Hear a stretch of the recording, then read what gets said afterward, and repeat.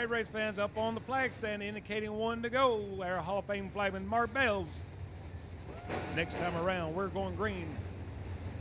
On the pole, it's the three of Rex Coffee. Flanked on the outside is the Blue Deuce of Terry Poor.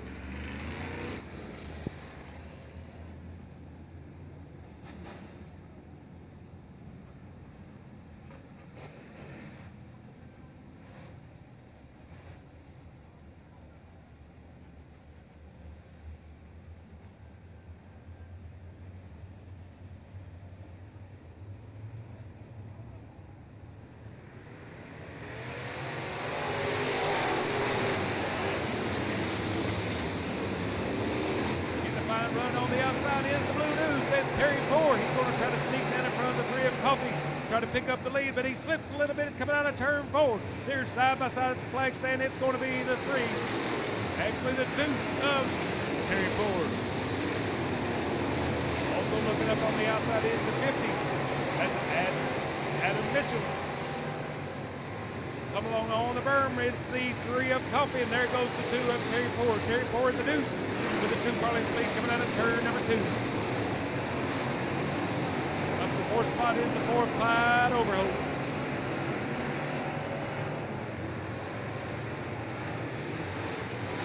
That's going to be a challenge for the lead. Here comes the three of Rex Coffee. Takes a peek underneath the deuce of Terry Poor. Also shaping a, fine battle for third between the 50 of Mitchell, the four of Overholt. Overholt in the four comes underneath the 50 of Mitchell, taking over third spot. Now we got the green over turn one, but the flagman says we'll just let him go green. Now take a look, coming underneath is the zero one of Raider. It's going to be a photo finish. It's going to be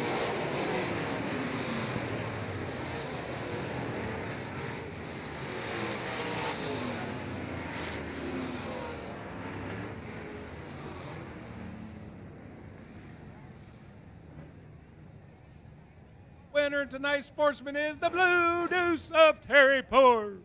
What a race between the Deuce of Terry Poor and the Zero One of Wayne Raider.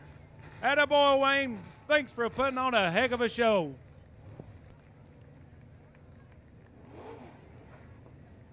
Tough luck for the three of Rex Coffee. Had him covered, but slipped just a little bit in the corners of one and two.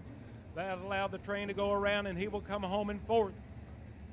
Also coming all the way from the rear, the fine run in the 12 round uh, in the blue deuce, waving that checkered flag. And race fans, when he comes around him, here show your approval of not only his racing ability, but also the zero one of Wayne Raider. Race fans, let's hear it for tonight's winner, the blue deuce of Terry Poor.